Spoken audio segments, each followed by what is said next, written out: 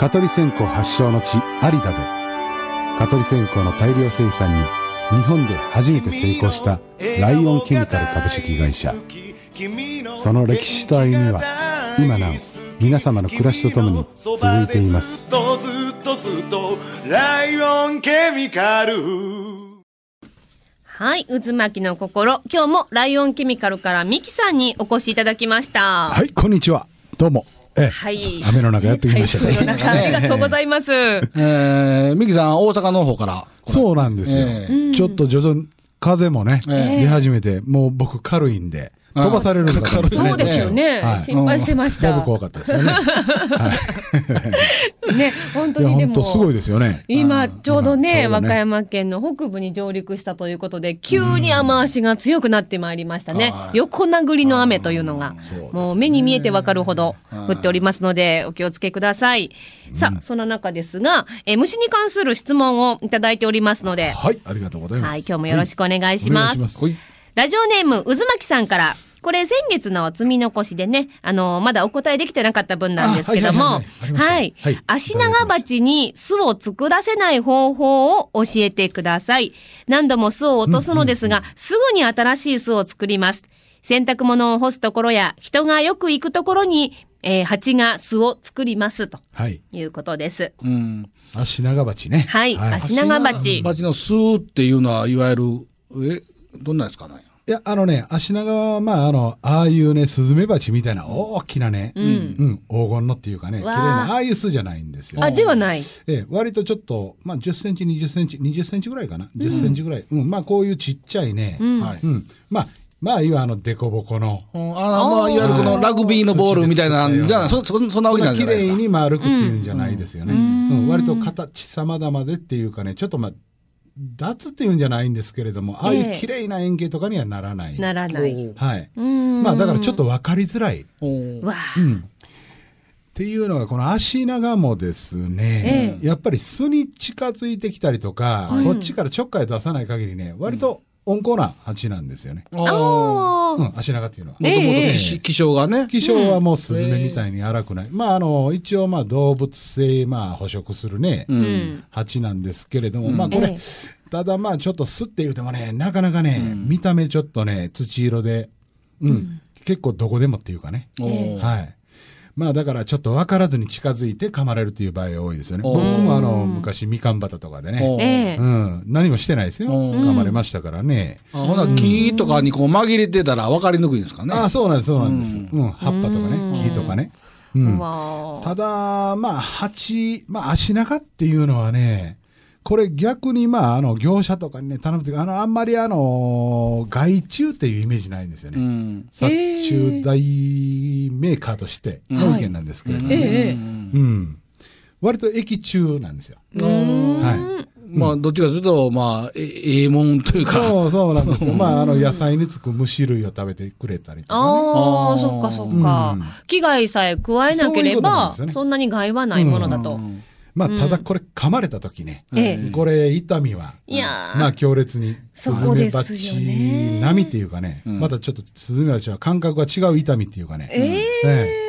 結構きついですよ、これ。うん。ねえ、やっぱり洗濯物を干すところとか、人がよく行くところに巣を作るというので困ってらっしゃいますからね。うん。今はもうやっぱりあの、この、スズメバチの巣とかね、この足長もそうなんですかね、やっぱりこの街中とかね、ううんん。やっぱり家のすね、あの、軒下とか、まあね、はい軒上とか、はいまあ洗濯物をね、うん。うん、干しながら、えーちょっと噛まれた。まあそういう意見もね、人も多いし。あの、みきさん、その、か噛まれたという表現が適当なのか、刺されたというで表現が適当なのか。確かに。それ、あの、これは刺されたです。か、かでもそうですよね。そうですかでもその、噛まれたって言いますかうちのお母さんうんが噛まれた言いますけども、はいゆう地地方によってね、刺されたっていう人から噛まれたっていう人から。ああ、両やっ方。ぱりこれ噛むんじゃないですからね。口で噛むんとちゃいますから、ええ蚊にしても。ええお尻の針で刺す。うん噛まれるんは今、あの、ヒアリとかね。ええうん。あ、ヒアリもまああれ刺すんか。おーややこしいですね。これなんか和歌山県人 独特なんかな、ここ全部ひっくるめて噛まれる言うんですかね。そうですね。イメージ的えにまあ、噛む噛む噛むって言いますよね。ねえ日本語いますね。えなんか、靴に噛まれたとかも言いますからいまね。す、います。まさか方言をね、服部さんから指摘されるとか、ちょっと想像今、はい。ええもうもう噛まれたら行きましょう。噛まれたら行きましょうか。女性に噛まれたとかね。女性に噛まれたとか。ああ、言いますそれ。それはほんまに噛まれてたんじゃない？ああ、でしょうね、多分。あれ痛いね、一番。あの、刺されたです。ええ刺されとして。あの脱線しましたがね。ただまあ、えーこれやっぱりね、うん、どうしてもやっぱり洗濯物干すところとかね、ええまあそういうところにそう作るということなんで、えーあの、エアドール売ってます。八用の。八葉の、えはい八。用のエアドール。買ってください。ほんで、はいえーまあ、あのーその蜂のエアドールの中にも、えー後で巣を作らせにくくするっていうね。えーはい。そういうスプレーもございますんで、うんうん基本あの、やっぱりちょジェット噴射のね、遠くからでもこう、噴射できるね。ええ。やっぱり危ないんで。なんかこう、蜂の退治って言うたら、このね、面かぶって、この網網の、はい。顔へつけて、えーそう、あちょっとね、あの、うん完全防備の防防備の本服来でしたらね、もう巣ごと丸ごと退治するときっていうのは、やっぱり業者を呼んでっていう、あの、まあ、スズメバチの場合とかね。ええ。うん。まあ、足長でもあの業者呼んでやってくれるんですけどもね、うん。やってくれることはやってくれるんですけれども、まあ、うーん安全牌取るならそうなんですけれども、まあ、自分でする場合は、スプレー遠くからふーっと噴射して、えこれはね、スプレーはね、一つ間違ったらね、えはい。ミスショットなんかしちゃうと襲ってきちゃうんで、外すと。うん。やっぱり怖いんで、ね、攻撃されたと思って。うん。うん。ある程度そのスプレーする時の格好というのもね。うわはい。黒い服は避けてもらって、まあ、あんまり離れすぎたらね、かからん場合があれだね。そうですよね。結構今の噴射ねあのー噴射力ございますんでそうでねすか。うんまあそれでかけていただいて、まあ、ちょっとヘルメットかなんかかぶって、ね。そうそう。ほんまにそれぐらいしていただかないとうね、ん。うん。まあフルフルフェイスの。フルフェイスいやのねほんまで。すよ、ゴム手袋して、もう完全防備で、皮膚を出さない。備でや。っていただくっていうのが一番ええですよ、ほんまに、ええそうですね。蜂何があるか。じゃあ、あの、巣を発見したら、もう巣に吹きかけておくというのもいいんですか？そうです。ほんでね、これはもうまんべんなく、まあ、一旦ね、足長なんかっていうのは、割とこの、えー、一旦どっかに逃げてしまうと思うんですよ。ええええ。割と簡単に、はい。うん、スズメみたいなね、うん。うん強烈な猛烈なっていうか、ええ。巣を守るっていうね、うん。そういう、まあ、威力っていうか、はい。パワーもないんで、足長の場合は、さーっとどっかいなくなっちゃう場合が多いです。ええただまあ、あの、また戻ってくる場合もありますし、ええあのーやっぱり、何回かは念のために、えー間隔を空けて振っていただくと。いなくなっちゃっても。うんうんうんはい。で、まあ、巣を作らない、まあ、環境にするっていうかね、うん。シチュエーションにすると、あの、これは、まあ、あの、蜂の巣っていうのはね、まあ、ちょっと粘着剤とかね、ああいうのをついてるところとかね、割とこう、トゲトゲとかね、ささくれとかね、ああいうところに巣は作らないんですよ。スズメにしても足長にしてもね。うん。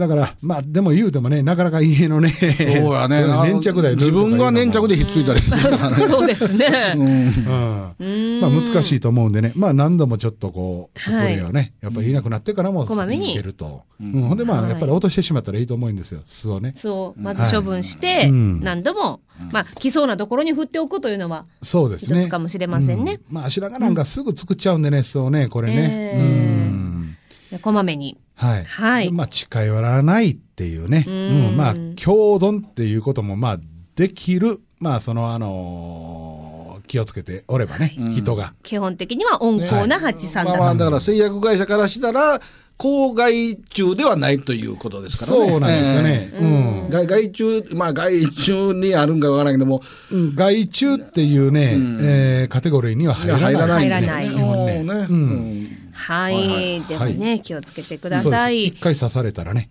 やっぱりこの2回目、はい。刺された時に、アナキラフィシーっていうね、あアナフィラキシーですわ。アレルギー系のね、うんショックが起きたりしますかうん。ら。アレルギー反応を起こしそうですね。ございますんでね。はい。やっぱり。はい、気をつけましょう。はい、お気をつけください。はい。続いてラジオネームパーシーさんからです。最近ニュースなどで話題になっているヒアリやマダニが和歌山にもすでにいるかもしれませんが、どんな場所で気をつければいいですか？また、どんな防虫剤を使えば効果がありますか？という、ヒアリやマダニ。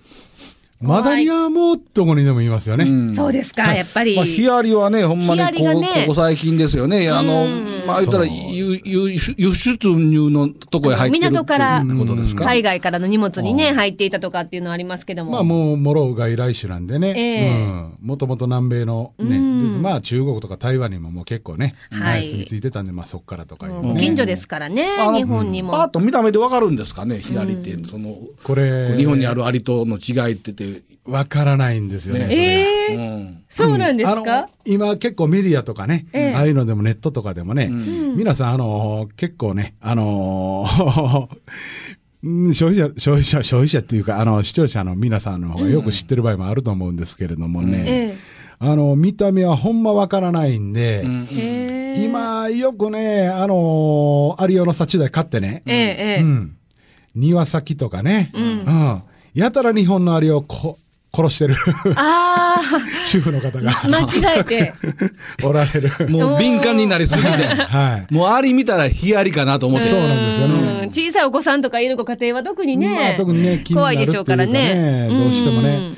ただやっぱりこの生態系っていうのはね、やっぱり日本のアリをええ逆に殺してしまうと、ヒアリがそこに住み着いてくるというか、住みやすくなる。うんまあ、言えば天敵みたいな形になるんですよね。あああ、日本対外来種の。やっぱりね、こう巣を作って集団生活しますんで、ええ日本のアリもそういうはいアリの種類が多いんですよね。うんでやっぱり縄張り争いみたういな。ーうんん。結局、まあ、ヒアリは強いですよ。強いですけれども、日本のアリもやっぱり食ってかかるんで、ええうん。そっか。まあ、日本のアリに任しといた方がいいとかいう人もいますしね。ええなるほど。自然の摂理というか、ああ人知のね奪い合いですよ。よそもんが来たぞ、みたいな。よそもんが来たぞっうの町を守るんだ。アリ合戦が行われてるわけですね。どこのもんさ、言うてね。ますね。でもまあ、ええやっぱりこれだけのね、ええやっぱり被害をね、うん。はい。出るっていうか、やっぱり噛まれたりとかね、今度ね、うん、そうなってきた場合っていうのは、やっぱりもっと敏感になってくると思うし、ええ。まあ、日本のアリでも噛むアリっていうのは昔からあるんですけれども、うん。まあ、よく間違うというのがあるんですけれども、巣がね、はい。やっぱりちょっと、かなりボコっと膨らんでるっていうか、うん。他になってるって、あえーっとちょっと膨らみがね、ここんもりこうんうん。ほんで硬いというね、はい。うん。うんうん。やっぱりちょっと大型な巣を作りますんで、うんうんまあ、その巣で判断してね、うん今ちょっと環境庁とかね、あれどこ、役場とかね、はいああいうところに行ってもらってね、これはヒアリのあれじゃないかって、もしかね、うん見つけた場合というか、というか、まだそないまだにこそんなにの、和歌山はまだ発見されてないですよそうね。ですかうん。まあまあメディアが言うんでみんな敏感になってくるんやけどもまあほんまに確認された本数匹とか、まあ、まああんなん。確認だけですけどね。うん、そうですね、まあ、女王アリが見つかってるからね、やっぱり繁殖はしてるというね。うわあ、そうたか。だ、まあ、和歌山では発見されてないということなんで、まあ、ほとんど、まあ、庭先におられるアリは日本のアリだと思いますんでね。うんそらそうですね。そうでしょうねむやみに殺さないように。うんうんあの、なんかちょっとメディアで見ると、はい黒っぽくなくて、ちょっと赤茶色っぽい。赤茶色っぽく見えるでしょ。見えますでも実際ね、地面歩いてたらほとんどわからない。あ、そうですか。はい大きさとかは？大きさもまちまちなんですよ。あ、そうなんですね。カメラで寄ってな、かうん光を当てるから赤茶色っぽいんですか？